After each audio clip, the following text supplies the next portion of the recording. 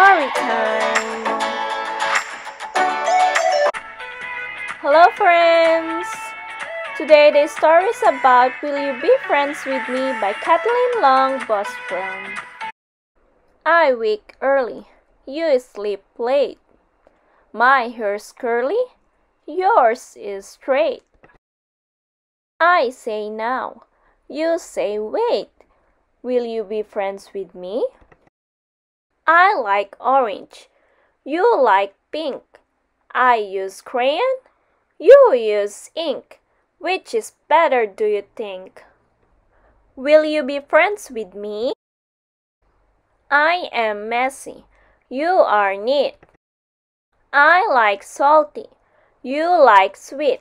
What's your favorite treat to eat? Will you be friends with me? Let's play leapfrog. Jump up high. Maybe we will touch the sky. We can do it if we try. Will you be friends with me?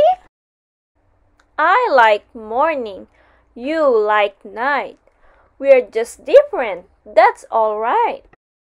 We don't need to pass or fight. Will you be friends with me?